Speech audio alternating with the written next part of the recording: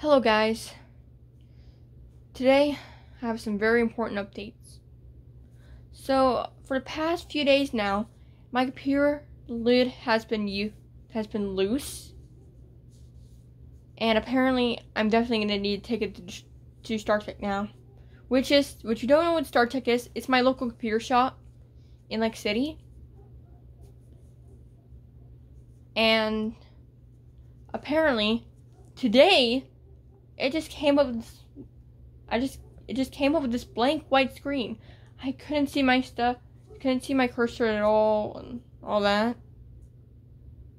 So what do you guys think? Could it be my computer or is it the lid?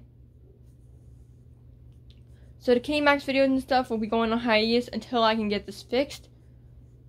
Who knows when I'll get it fixed? Maybe sometime soon. But I'll definitely have to take it to the computer shop for now. Until I can, for, for it to get fixed. At some point. So, I'm probably not going to film my scenes for getting sketchy at the moment. Because of the broken, of the broken lid. Yeah, and it just got worse. So, yeah. I won't be posting for a while, though because I had very important stuff to do.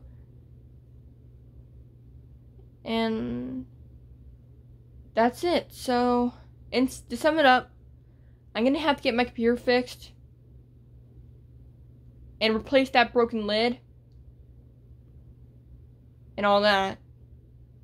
So, yeah. Thank y'all for watching, and I'll see y'all next time. Peace out, everybody.